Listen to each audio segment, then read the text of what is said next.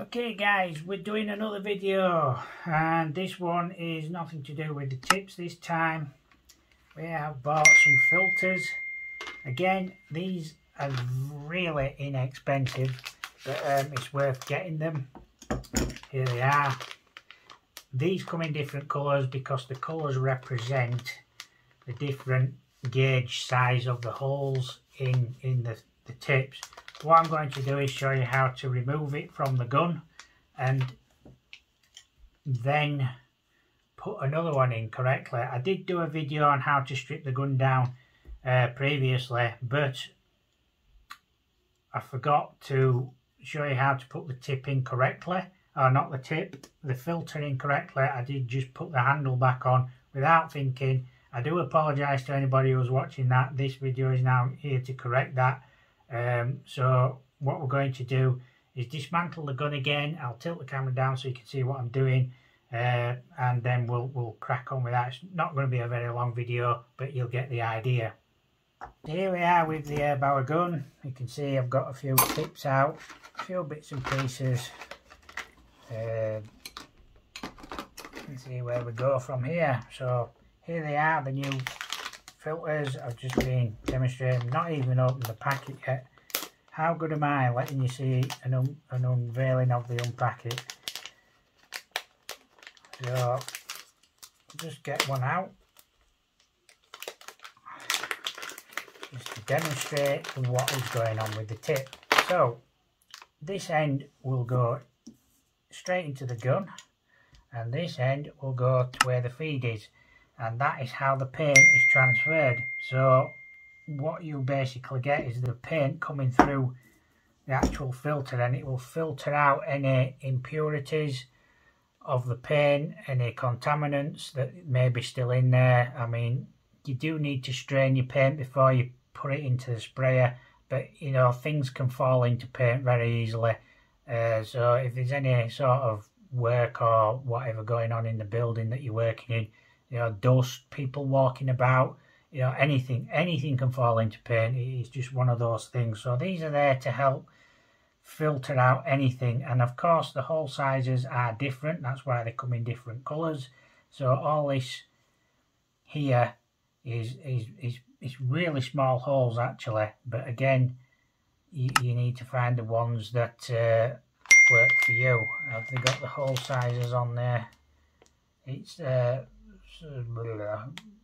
doesn't say. I think it says that 60 mesh somewhere. Anyway, anyway, these are the ones I've got to replace the one inside that came with the gun. And very straightforward. All you need to do is unclip that. Most guns with any quality or that will do that. A nice quick easy clip to remove and again the filter's running away. Means my table's not level. All I do is twist the handle like that. Lefty loosey righty tighty. You got to remember that. Now there might be a little bit of water comes out but there isn't any.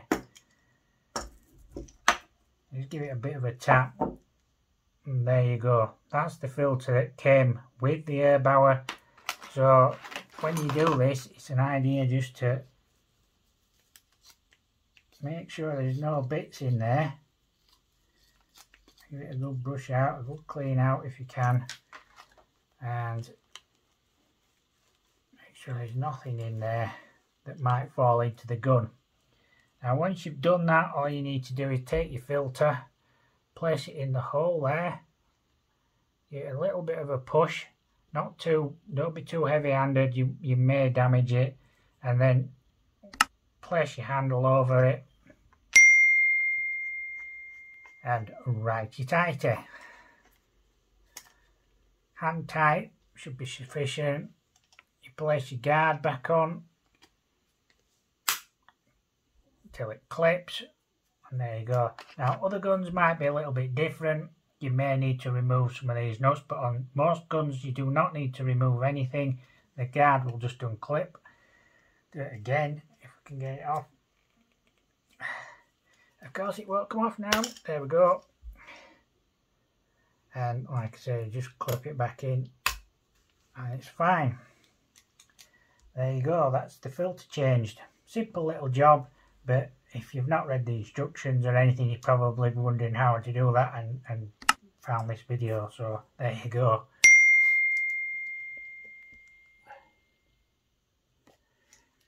so there you go once again thank you for watching the video hope you got something out of that I hope I've uh, corrected my previous video on how to change the filter. I did forget to, I just got carried away putting the handle on. I do apologise.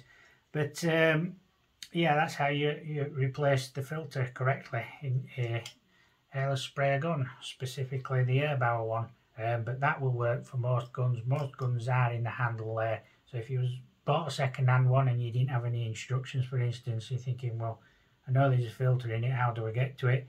Sometimes they're a little bit tighter, these handles, so it's kind of debatable whether to put grips on it or something if you're trying to ease it off. But you, if they have got anything at the bottom here, this one does have like um, place to put the spanner. You could probably just carefully nip it, nip it around like that and you should be fine. Um, if it's well seized on, you may need, just need a new gun. You know, as simple as that. But there you go, that's life.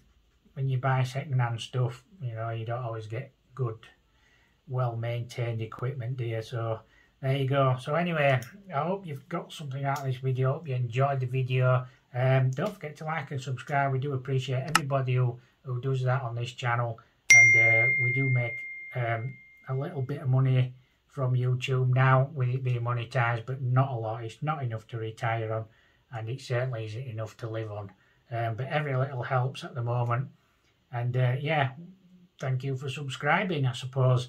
Um, so I hope you got something out of the video. Um, if you do have any comments, just leave them down below. We'll uh, get around to answering them as soon as we see them. And uh, yeah, catch you in another video soon. Thanks for watching.